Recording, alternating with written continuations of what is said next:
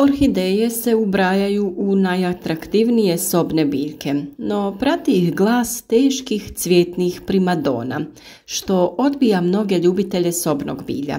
I doista, postoje vrste kojima treba pružiti posebne uslove poput razdoblja mirovanja na hladnom ili povišenu vlažnost zraka, što nije lako u uobičajenim sobnim uslovima. Na sreću, dovoljna je vrsta kojima odgovaraju obični sobni uslovi. U takve se ubrajaju i orhideje iz roda Phalaenopsis, koje su zbog jednostavnosti uzgoja i svojih fantastičnih cvjetnih boja i uzoraka postale iznimno popularne. Orhideje Phalaenopsis dobro uspijevaju na sobnoj temperaturi uz minimalnu njegu, pa su idealne za ukrašavanje svakog stambenog prostora u kojem ima dovoljno svjetlosti. Sam uzgoj orhideja nije kompliciran. Možda ste tek dobili prvu orhideju pa ste izgubljeni u svijetu prepunom informacija ili samo volite istraživati o vašim omiljenim kućnim biljkama. U današnjem videu govoriti ćemo o upotama o uzgoju i njezi orhideja te nekoliko trikova za poboljšavanje njihovog zdravlja. Također ćemo reći kako da spasite biljke koje su uvenule i ne izgledaju kao da će preživjeti. Ovu malu mini orhideju sam nedavno dobila na poklon te ću ju presaditi u veću posudu. Zamijeniti substrat, odrezati suhe dijelove korijena i dati joj više prostora. Sve svoje orhideje inače sam izvadila iz plastičnih posuda u kojima dođu te stavila direktno u keramičke veće posude. Možete koristiti ovakve kao ja ili neke staklene što su providne, tako će im i korijen dobiti malo svjetlosti. Nikako se nemojte bojati rukovati sa vašim orhidejama, jer nije to ništa teško. Samo pazite da ne slomite list ili mladu granu, ali oni nisu ni malo krhki, tako da je mala vjerovatnost da vam se to dogodi.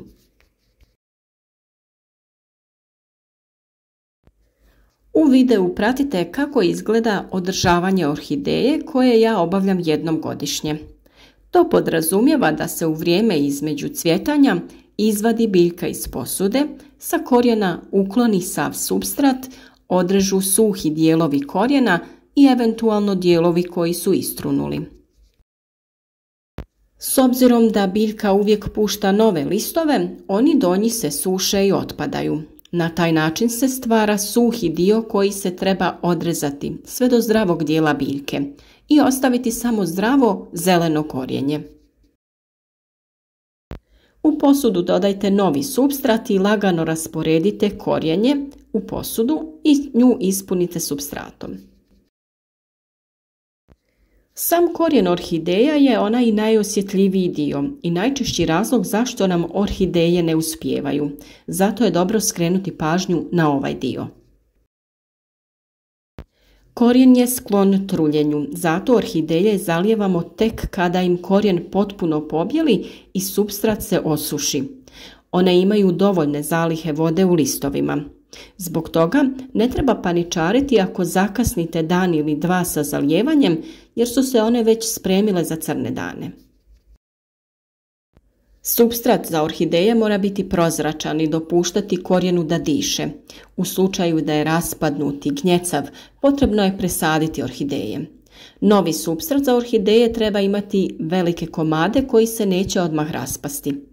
Profesionalni uzgajivači često koriste onaj od kokosa jer odlično zadržava vlagu, a i orhideje u tropima rastu upravo na palmama, pa kokos predstavlja i njihovo prirodno stanište. Korijen koji izlazi iz posude normalna je pojava. Možete ga povremeno poprskati sa vodom.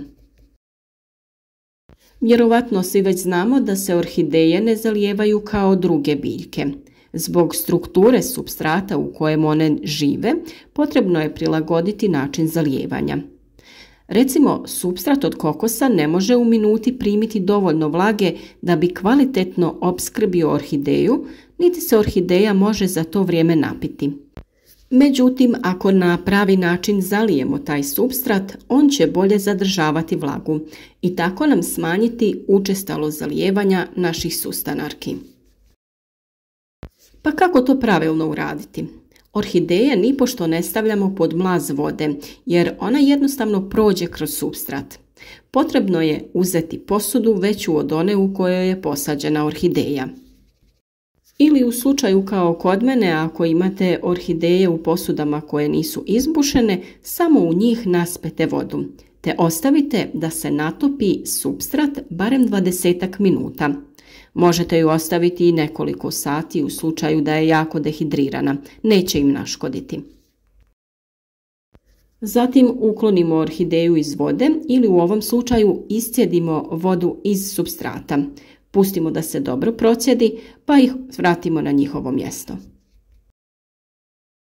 Ovaj postupak se ponavlja jednom u sedam dana, na primjer vikendom kada ste slobodni. Jednostavno prije nego krenete kuhati obrok, naspete vodu u posudu i kada ste gotovi sa pripremom, one su upile dovoljno vode, te ju jednostavno iscjedite iz posude. U substratu će ostati dovoljno vlage za narednih sedam dana. Moje orhideje imaju dva ciklusa cvjetanja i rijetko su bez cvijeća, pa to vrijeme brzo iskoristim za ovakve radove. Stoje na prozoru koji je okrenut na istok i imaju jutarnje i prijepodnevno sunce, jer jako sunce nije ni u kojem slučaju dobro za njih. Cvjetaju u jesen sve do kasnog proljeća, kada im opada cvijet, ali ubrzo krenu nove grane i cijelo ljeto obiluju prekrasnim cvjetovima.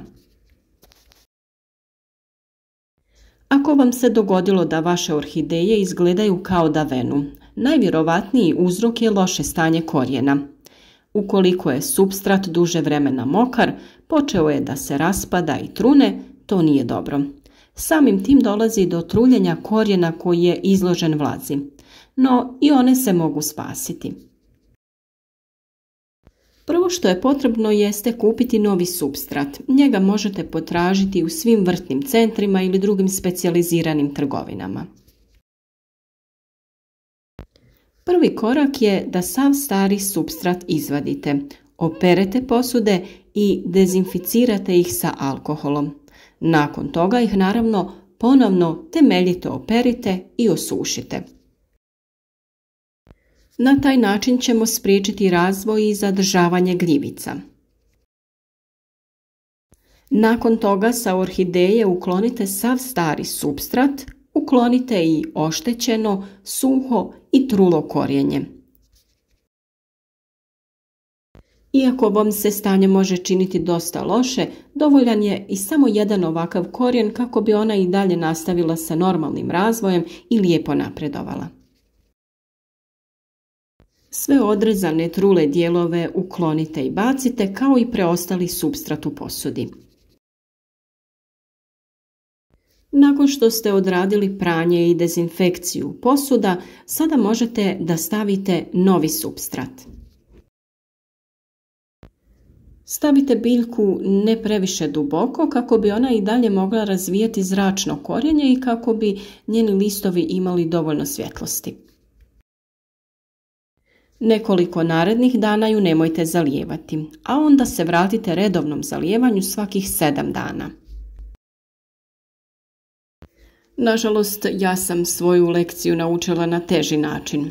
Zaključila da je kada odlazim na duži vremenski period, bolje neposredno prije puta obaviti temeljito zalijevanje i ostaviti ih tako, nego sipati malo vode da imaju za svaki slučaj jer orhideja će mnogo lakše podnijeti nedostatak vode nego pretjeranu izloženost korijena vlazi.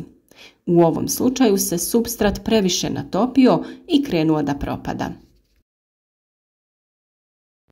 U svakom slučaju vrijedi uložiti malo truda u njihovo održavanje i spašavanje ovakvih situacija.